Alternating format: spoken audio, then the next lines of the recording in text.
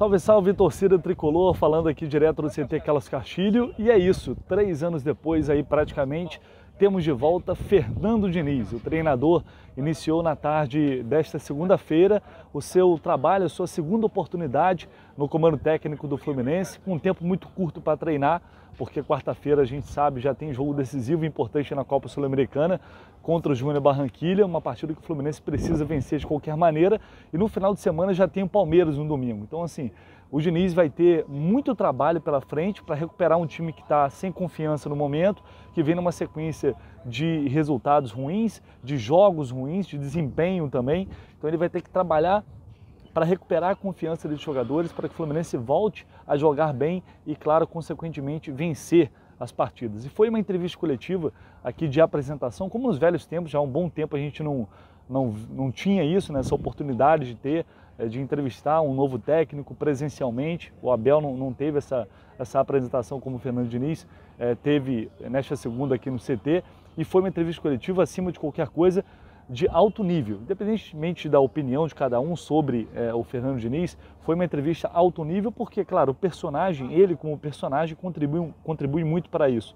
Porque ele já tem uma história no Fluminense e também pelo, enfim, pelo, é, é pelo, pelo, que ele representa, né? pelas ideias que ele representa, que geram sempre muitas discussões, não só entre torcida do Fluminense, mas é, entre todas as torcidas inclusive da, da, da, maioria dos times do futebol brasileiro e principalmente onde ele trabalhou. Então, é, os jornalistas que estavam aqui presentes hoje no CT é, abordaram diversos assuntos, acho que todos os assuntos mais importantes, mais relevantes, é, foram perguntas bem variadas, perguntas bem incisivas e que deu para a gente, é, de fato, colher um, depoimentos importantes é, e muito relevantes por parte do, do técnico Fernando Diniz. E eu vou destacar aqui alguns pontos que para mim é, chamaram mais atenção. Claro, a relação dele com o Ganso, né, ele reafirmando é, que o Ganso é gênio, que o que ele faz outros jogadores não conseguem fazer. É, falou que esse elenco do Fluminense foi muito bem montado, na opinião dele, que tem jogadores com, com as características que ele gosta. Ele disse que é, é, eu não estava aqui no Fluminense, mas parece que esse elenco foi montado para mim. Né? Falou também sobre a gestão do presidente Mário Bittencourt, uma resposta que já está repercutindo bem aí nas redes sociais, dizendo que a gestão é, é a melhor do futebol brasileiro aí nos últimos anos. É, sobre a questão também da, da do desempenho versus é, resultado, né? inclusive foi uma pergunta que eu fiz e foi uma resposta bem interessante. Então vou colocar aqui para vocês é, as principais na, no meu entender, pelo menos, né, as principais respostas do Fernando Diniz nessa entrevista coletiva e depois a gente vai discutir mais sobre isso, evidentemente. Eu, eu não vou comparar elenco, tá? Eu não gosto de fazer isso. Quando eu pego um time, eu sempre acho que aqueles são os melhores jogadores. O que eu posso dizer é o seguinte, é que parece que sem eu chegar aqui, o Fluminense montou um time que tem bastante a minha cara porque a gente, tá, eu estava listando ali, tem pelo menos sete jogadores aqui no elenco que eu tentei levar para quase para muitos times que eu trabalhei nesse período desde quando eu saí daqui. E os jogadores não tá, não consegui levar, mas o Fluminense conseguiu trazer os jogadores. Então eu vou encontrar pessoas aqui que eu, pô, que eu gostaria de já ter trabalhado com os jogadores. Acho o elenco muito bem montado, um elenco extremamente qualificado. E eu vou procurar fazer o meu melhor para tirar o melhor de cada jogador e a gente conseguir ter bastante sucesso junto. Em relação também à estrutura, obviamente que melhorou aqui muito, tudo isso facilita em todas as questões. O Fluminense hoje é um Fluminense bem diferente de 2019, bem diferente para melhor. Então, eu tenho uma relação muito próxima com o Ganso, vocês sabem que eu tentei levar ele para o Santos, né? ainda bem que não deu certo, senão ele não estaria aqui. E e às vezes quando eu falo do Ganso e às vezes ele não estava não tá vivendo um bom momento, não estava jogando, e sou estranho para quem está ouvindo. E a gente é assim mesmo, né? As pessoas às vezes oscila muito de opinião. A minha opinião sobre ele nunca oscilou. E às vezes o cara fala, acha que eu sou louco porque eu falo coisas que eu penso do Ganso. O Ganso é um gênio. É um gênio do futebol. Um cara que faz coisas. Eu joguei com muita gente talentosa, treinei muita gente talentosa. E vi muita gente talentosa. E ele faz coisas que ninguém faz. Então ele é um gênio por conta disso. É um gênio criativo que, por algum motivo, ou por alguns motivos que a gente não sabe ao certo, não conseguiu ter a carreira que o talento dele merecia.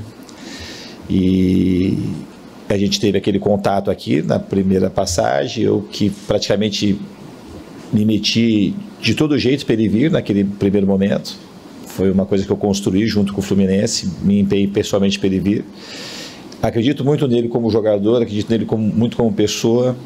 E fico muito feliz que o Abel tenha conseguido, junto com a equipe, ter colocado o Ganso para jogar antes de eu chegar, né? Senão pareceria que eu que tinha que inventei o Ganso e não é isso.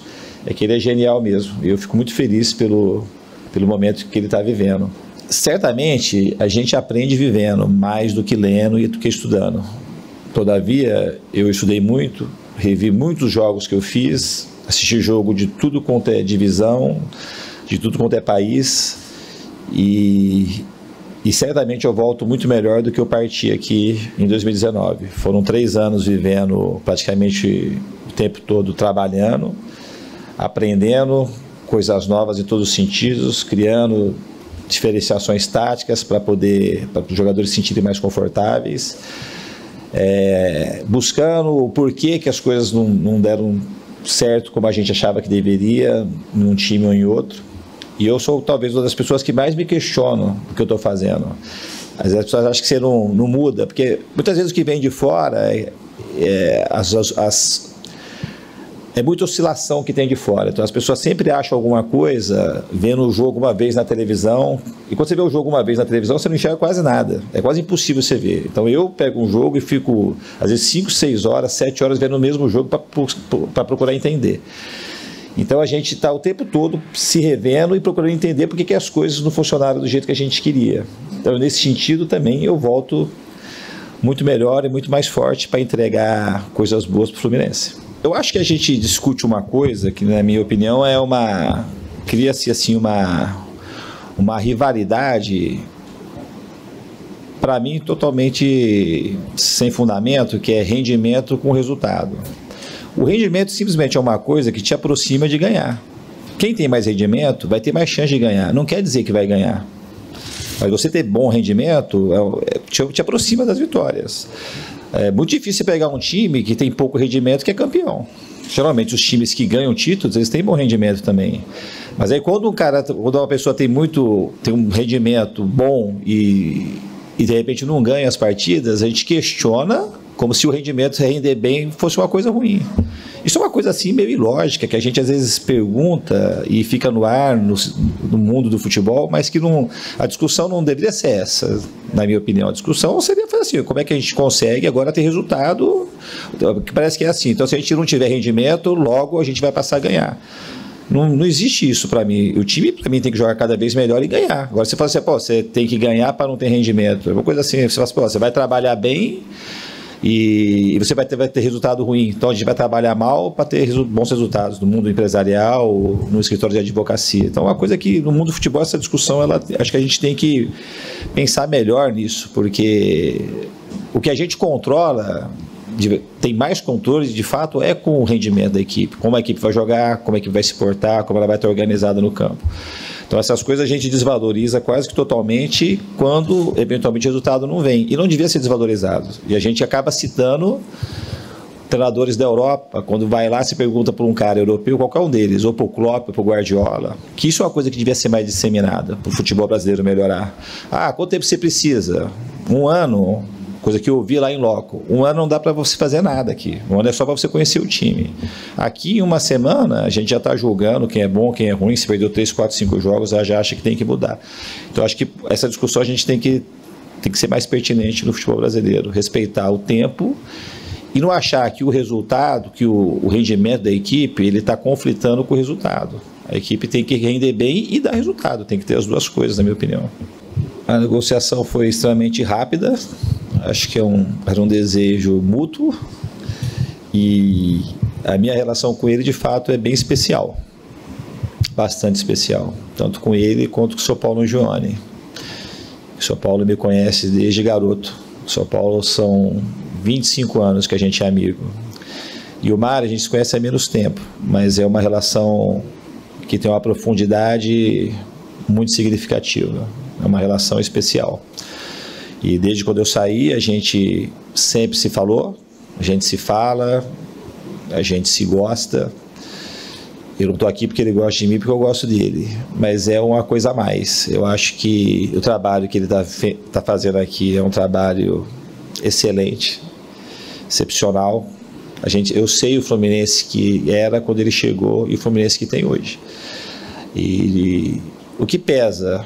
O que pesa sempre que a gente precisa ganhar ganhar jogo. Mas às vezes, se você fazer o trabalho, você pode fazer o melhor trabalho do mundo, falei, não te garante ganhar.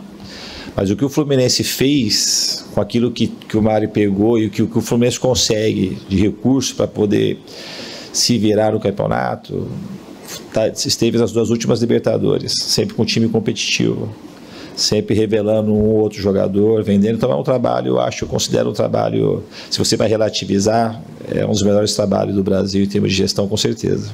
E o Fernando Diniz também teve o primeiro contato com os jogadores hoje à tarde, né? Ele concedeu entrevista coletiva primeiro, chegou aqui com seu empresário, sua assessoria de imprensa, logo depois chegou o presidente Mário Bittencourt, diretor executivo Paulo Gione, só depois ele foi ter uma primeira conversa é, com os jogadores e a gente pôde registrar né, uh, o momento em que o Fernando Diniz ali encontrou os jogadores, que iniciou esse novo trabalho, muitos ele, ele já conhecia, né, da outra passagem aqui no, no em 2019 no Fluminense, é, outros ele vai conhecer agora, mas alguns jogadores já o enfrentaram.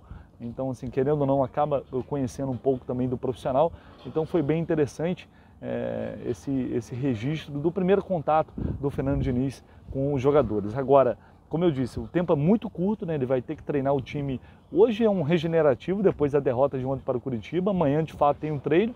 Quarta-feira já é jogo, de vida ou morte na Sul-Americana e depois descanso, treino e jogo contra o, contra o Palmeiras lá em São Paulo, pelo menos é uma viagem mais curta, né? Querendo ou não, isso ajuda, porque depois já vai ter viagem mais longa pra, pela Sul-Americana também. Então é isso, galera. Espero que vocês tenham contar, é, gostado desse, desse, desse conteúdo que conseguimos produzir aqui hoje no CT com a apresentação do técnico Fernando Diniz. Tenho certeza que de tédio a gente não vai morrer nos próximos dias, isso é fato. Emoção não vai faltar, mas é claro que, como eu venho dizendo, tomara que o Diniz consiga fazer um grande trabalho no Fluminense, é, independente da opinião de, de, cada um, e eu sei que divide muitas opiniões, é, torcer para que ele faça um trabalho, é, talvez o melhor trabalho da carreira dele, porque isso vai ser bom para ele, que é um cara trabalhador, que tem ideias boas para o nosso futebol, e claro, bom para o Fluminense, evidentemente.